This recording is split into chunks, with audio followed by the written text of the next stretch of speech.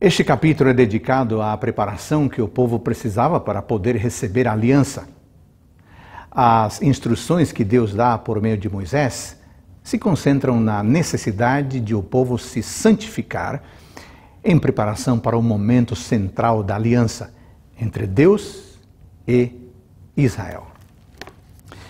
O momento, amigos, era dramático. Depois de três meses fora do Egito, Moisés tinha levado o povo com ele para acampar no deserto, em frente ao monte. A missão estava cumprida.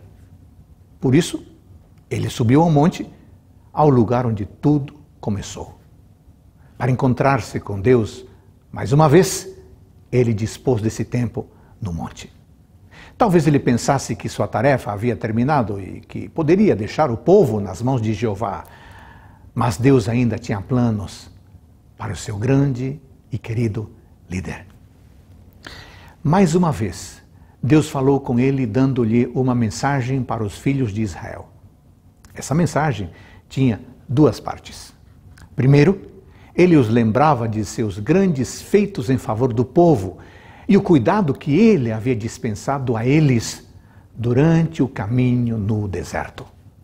Depois, ele deu a parte principal da mensagem. Deus lhes oferecia a oportunidade de fazer uma aliança com Ele. A oferta foi introduzida com as palavras condicionais. Agora, pois, se. A entrada de Israel na aliança seria o resultado de sua própria e livre escolha. No entanto, uma vez escolhida, a aliança teria que ser observada de acordo com as condições estabelecidas por Deus.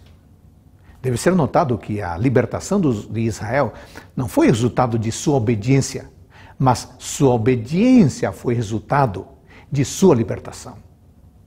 Ao aceitar e manter a aliança, Israel teria uma relação única com o Deus único. Deus tinha um propósito universal ao escolher um povo para ser seu tesouro especial. O mesmo propósito havia sido declarado a Abraão ao chamá-lo.